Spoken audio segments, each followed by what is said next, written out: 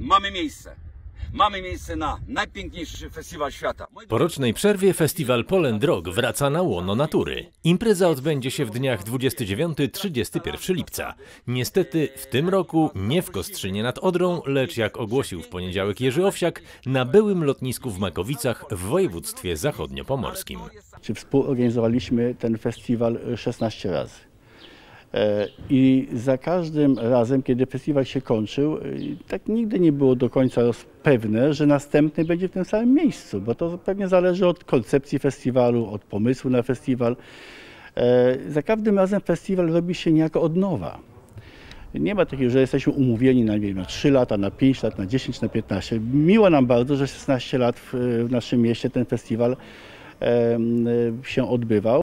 Zmiana podyktowana została pandemią i najwyższą dbałością o zdrowie uczestników, co wiąże się nie tylko z testowaniem na COVID-19 wszystkich obecnych na miejscu, ale również między innymi z odpowiednim zabezpieczeniem terenu. Z tego, co nam przekazano, to po prostu jest to teren, w którym łatwiej jest zrobić e, imprezę bardziej zamkniętą, e, łatwiejszą do ogrodzenia na płaskim terenie y, i, i tyle. To po prostu wy, według Jurka wynika m, to z pragmatyki po prostu. No niestety festiwal jest e, kolejną ofiarą e, pandemii, tak? Nie ma co dyskutować. Trzeba spełnić e, wymagania, obostrzenia.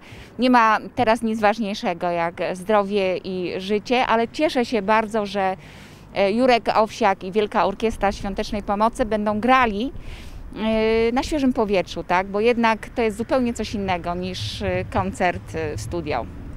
Festiwal przyjmie formę hybrydową. Dostępny będzie zarówno dla ograniczonej grupy publiki obecnej na miejscu, jak i dla widzów śledzących jego przebieg w internecie. Mogłoby być na drugim końcu Polski i tak myślę, że dużo ludzi do tego się przyczyni, że spotkamy się tam w miarę możliwości z zachowaniem bezpieczeństwa i maseczek, mam nadzieję przynajmniej, że tak będzie, ale, ale myślę, że się odbędzie i że nieważne gdzie, ale ważne, żeby było. Życzymy naprawdę sukcesu, aby się udało w tych trudnych warunkach zrobić takie przedsięwzięcie.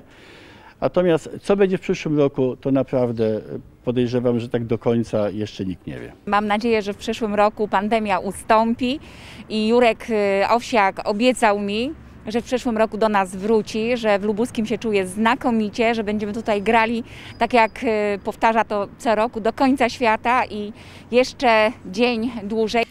Także Jurek, szkoda, wracaj do Kostrzyna. To jest moje ostatnie zdanie.